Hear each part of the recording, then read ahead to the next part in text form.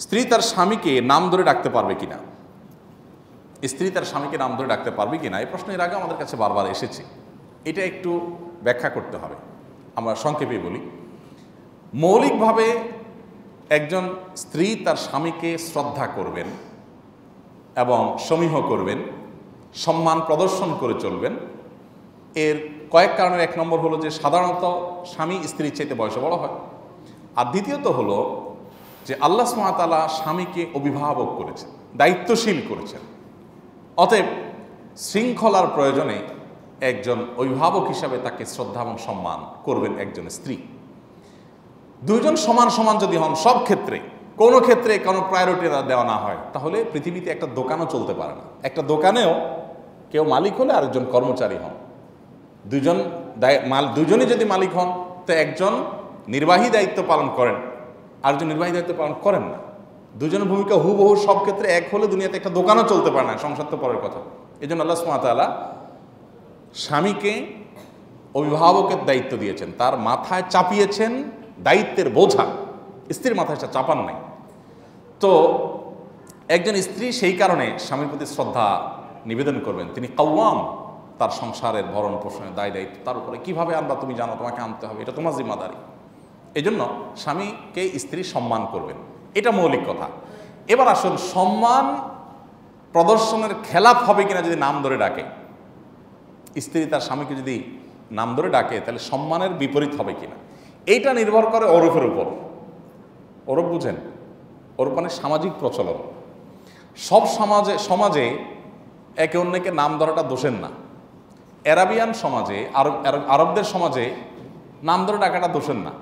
ওখানে ছোটো ভাই, বড় ভাইকে, বড় ভাই, ছোটো ভাইকে একে অন্যকে নাম ধরে ডাকাডাই করে। এটা কোনো ব্যাপার না। শুধু সেটা না মনে করেন একজন শুয়ে আছে ঘুমায় আছে। তো অ্যারাবিয়ানদের ট্র্যাডিশন হলো পাও দিয়ে এরকম উষ্ঠা মারবে ডাকার জন্য। আমার দেশে পাও দিয়ে উষ্ঠা মারলে তো উল্টা ডাবল উষ্ঠা খাবে। তাই না? যে বেয়াদব কোথাকার, ডাকবি, হাত দিয়ে ডাকবি, পাও দিয়ে ডাকলি। তো তাদের এটা দোষের কিছু না। তারা পাও দিয়ে এরকম উষ্টা মারে। আপনি কারও অ্যাটেনশন নিতে চাচ্ছেন পাও দিয়ে এরকম করে। কারণ আমাদের দেশে তো কারও গায়ে পাও লাগলে আমরা চিন্তা হারিয়ে খবর আছে। তাড়াতাড়ি করে মাপ চাই, তাই না? তো এই জিনিসগুলো প্রচনের উপর নির্ভর করে। আমি প্রায় সময় বলি, আমার, আমি সৌদিতে যখন কাজ করেছি, আমার সহকর্মী ফিলিপাইনিরা ছিল অনেকে আলেমোলামা তো ফিলিপাইনিদেরকে দেখতাম, তাদেরকে যদি কোনো কিছু জিজ্ঞাসা করেন আপনি, কথার কথা উপমাস্বরূপ জিজ্ঞেস করলেন আপনি যে, তুমি খাইছো কি না তো সাধারণত আমরা মাথা নাড়ি, তাই না? মানে মুখে যদি না বলি, তাহলে আমরা মানে খাইছি। ইন্ডিয়ানরা কি করে? ইন্ডিয়ান কেরালা টেরালা ওই অঞ্চলের মানুষ। এটা তাদের হ্যাঁ আমরা যেটা এভাবে বলি, তারা ওটারে বলে, হুম হ্যাঁ খালিয়া আচ্ছা ফিলিপাইনিদেরকে দেখি, তাদেরকে যদি জিজ্ঞেস করে, তুমি খাইছো কিনা তারা বলে, কীভাবে? আমি বহু দেখেছি এরকম। আমার অভিজ্ঞতার আলোকে বলতেছি। এখন আমার দেশে যদি কারও জিজ্ঞাসা করে, খাইছো কিনা সে যদি বলে বলে, কী ব্যাপার? চোখ গোড়ায় কেন? কিরে ভাই, চোখ বড় করতে তাকাচ্ছ কেন? আমি তোমার জিজ্ঞাসা করছি, খাইছো কিনা? এখন ওদের সিস্টেম হলো এটা, যে এটার মানে হলো হাঁ এটার মানে কি? হাঁ এখন মনে করেন একজন ইন্ডিয়ান কেরালা এ ভদ্রলোক তামিল, তাকে জিজ্ঞাসা করছেন, তাদের ইতিবাচক হাঁ সূচক অভিব্যক্তি তারা প্রকাশ করে এভাবে? হ্যাঁ কালিয়া। মানে আমার দেশে কি এরকম বলে? হ্যাঁ খাইছি। বলবেন, নাচে কেন? এগুলো, এগুলোকে বলা হয় ওরফ। মানে প্রচলন। ওই যে একটা কথা আছে না, এক দেশের গালি, আরেক দেশের বুলি। এখন যেখানে যেটা গালি, সেখানে সেটা গালি। ওই একই কথা যদি আরেক জায়গায় বুলি হয়, তাহলে ওখানে গুণা হবে না। ওটা তার বুলি। এবার আসেন, আমাদের সমাজে বড়দেরকে সম্মান প্রদর্শন করতে চায় এমন কাউকে কি নাম ধরে ডাকার ট্র্যাডিশন আছে? নাই। তাহলে আমাদের সমাজে কাউকে সম্মানিত কাউকে নাম ধরে ডাকাটা, এটা তার প্রতি অসম্মান। এটা আমাদের ট্র্যাডিশন এটা আমাদের সামাজিক প্রচলন, ওরফ। অতএব, স্ত্রী স্বামীকে শ্রদ্ধা প্রদর্শন করবে, এই শ্রদ্ধা প্রদর্শনটা প্রত্যেক সমাজে ভিন্ন ভিন্নভাবে হবে। ওই যে কোনো সমাজে এরকম করে হবে, কোনো সমাজে মাথা নেড়ে হবে, এটা তার সমাজের প্রচলন উপর নির্ভর করে। অতএব, আমাদের সমাজে যদিও নাম ধরাটা দোষের, অতএব এখানে নাম ধরবেন না আমাদের বোনরা। কিন্তু নাম যদি ধরে ডাকেন এবং নিজেদের মধ্যে যদি সে বোঝা পড়া হয়, স্বামী যদি বলেন, না, আমি এভাবে মানে রিল্যাক্স ফিল করি, তুমি নাম ধরেই বলিও, আমরা একে অন্যকে নাম ধরে ডাকবো। তারা যদি মিয়া বিবি রাজি, তো কে আকারে গা কাজী? বুঝেন নাই? তারা যদি উভয় সম্মত হয়, যার অধিকার সংরক্ষণ করার জন্য শরীয়ত, সে যদি নিজে ছাড় দেয়, তাহলে শরীয়তের সেখানে কোনো সে নাই। কথা কি বুঝাতে পারছি? সাধারণত সচরাচর আমাদের বোনরা নাম ধরে ডাকবেন না। দেখুন, এই কথাগুলো খুব দুঃখের সাথে বলতে হয়, নানা প্রপাগান্ডার কারণে, পশ্চিমা প্রপাগান্ডার কারণে আমাদের মুসলমান মেয়েরা প্র্যাকটিসিং মেয়েরা পর্যন্ত স্বামীদের কদর বোঝে না। তার আখেরাতের প্রয়োজনে স্বামী একটু যদি বোকাশোকাও হয়, একটু বেকুব টাইপেরও হয়, তারপর তাকে শ্রদ্ধা করতে হবে। কোন এক সালাফের স্ত্রী বলেছিলেন, আমরা আমাদের স্বামীদেরকে সম্মান কতটা করতাম জানো তোমরা? তোমরা প্রজারা রাজাদেরকে যেরকম সম্মান করো, আমরা আমাদের স্বামীদেরকে সেরকম সম্মান করতাম। এটা তখনকার কথা। আর এখন কি অবস্থা হয়ে গেছে? অনেক মহিলা আছে, নামাজ কালাম পড়ে। এক সালাফ তার কাছে এক মহিলা গিয়ে অনুযোগ করলেন যে ওস্তাজ আমি ইবাদতে কোনো স্বাদ পাই না। নামাজের স্বাদ পাই না, রোজায় স্বাদ পাই না তেলাওতে তৃপ্তি পাই না। ভালো লাগে না কিছু। ইবাদ করতে ভালো লাগে না। তো উনি জিজ্ঞাসা করলেন, তোমার স্বামীর সাথে তোমার রিলেশনটা কেমন? বউ বলতেছে ওস্তাজ আপনি বোধহয় ভুল বুঝছেন। আমি আমার স্বামীর সাথে কোনো সম্পর্ক নিয়ে প্রশ্ন করি না। আমি নামাজ নিয়ে বলছি। তখন এই সালাব বলছেন যে, আমি তোমার প্রশ্ন বুঝতে পারছি। আমি তোমাকে যেটা বলছি এটার উত্তর দাও। বলছে তার সাথে সম্পর্কটা আছে মোটামুটি, চিকন চিকন না, মোটামুটি। তখন ওই সালাব বললেন যে, তোমার সাথে তার সম্পর্ক যখন সুনিবিড় হবে, অকৃত্রিম হবে, শ্রদ্ধার হবে, তোমার দায়িত্ব তুমি পরিপূর্ণ পালন করবে, তখন তুমি ইবাদতে স্বাদ এবং তৃপ্তি লাভ করবে। এই জন্য আমাদের বোনরা এই বিষয়গুলো আজকাল বুঝতে চান না।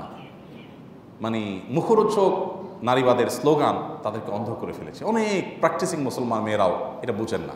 আবার এর বিপরীতে আমরা আজকে এটা বলছি মানে এই না যে পুরুষদেরকে আমরা একেবারে উঠাই দিচ্ছি। এর বিপরীতে বহু পুরুষ তারা তারা তাদের স্ত্রীদের প্রতি অবিচার করছে, জুলুম করছে, তাদের হক নষ্ট করছে। নবী সাল্লাহ সাল্লামের বিদায় হজের ভাষণে জীবনের সর্বশেষ ওসিয়ত, সবচেয়ে গুরুত্বপূর্ণ ওসিয়তগুলোর ভিতরে একটা ছিল মেয়েদের পারা যেন দায়িত্বশীল হয়, সচেতন হয়, সতর্ক হয়।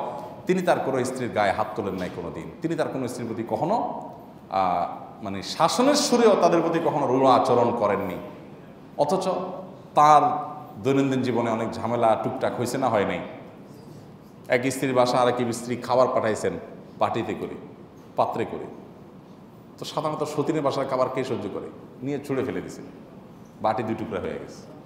নবী করিম সাল্লাহ সাল্লাম হাদিসে এরকম কোনো বর্ণা পাওয়া যায় না যে এসে শাসন করছেন। কি করলা তুমি এটা? এটা কাজ করলা তুমি? তোমার এখন এরকম একটা থাপড় দেওয়া উচিত না?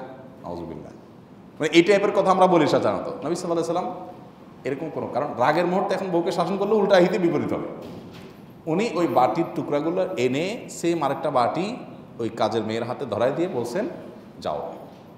ওই দাসীর হাতে ধরাই দিয়ে বলছেন, যাও, দিয়ে আসো এবং খবরদার। এখানকার এই যা ঘটলো, এগুলো কিছু বলবা টলবা না, আগুন ধরাবা না। সে চলে গেছে। বাটি টাটি আনা পরে, আগে বউর সাথে একচুট হয়ে যেত। ঠিক না? গোষ্ঠী উদ্ধার হয়ে যেত। এই জন্য আমরা শান্তিও পাই না। এমনি এমনি নবী সাল্লাহ সাল্লাম বলেন নাই যে বাঁকা হাট থেকে তৈরি করা হয়েছে, বেশি সোজা করতে যাব, ভেঙে যাবে। এই জন্য বুদ্ধিমান পুরুষরা দাম্পত্য জীবনটাকে এনজয় করে, আর বেকু পুরুষরা সব ক্ষেত্রে জজের জায়গায় বসে বিচারপতির আসনে বসে, বৈশা জাজমেন্ট শুরু করে এবং এগুলো করতে করতে দেখা যায়, বইয়ে তারা হাইকোর্ট দেখায় দৌড়ের উপর থাকে। এগুলো করা যাবে না। আল্লাহ তালা আমাদেরকে পরস্পর পরস্পরের হকগুলোকে বোঝার তৌফিক দান করুন। পুরুষদেরকেও তাদের হক সম্পর্কে সচেতন হতে হবে, নারীদেরকেও। মুশকিল হলো, আমাকে অনেক পুরুষ বলে, হুজুর, আপনার ওয়াজ আমার বই পাঠায় আমার কাছে। আবার অনেক মহিলারা বলে, হুজুর, আমার স্বামী আপনার ওয়াজের লিঙ্ক পাঠায়। সেদিন এক ভদ্রমহিলা আসছেন, এসে বললেন যে, আমার ভাই এই বিষয়ে একটা ইস্যু বলার পর বললেন যে, তার এই ইস্যুতে আপনার ওয়াজের লিঙ্ক আমার কাছে পাঠায়। এই আমি তখন বুঝতে আর বাকি থাকে না।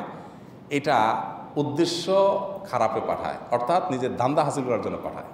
মহিলা যখন দেখে নিজের পক্ষের ওয়াজ, তখন স্বামীরে বলে, শুনে দেখো, দেখছ?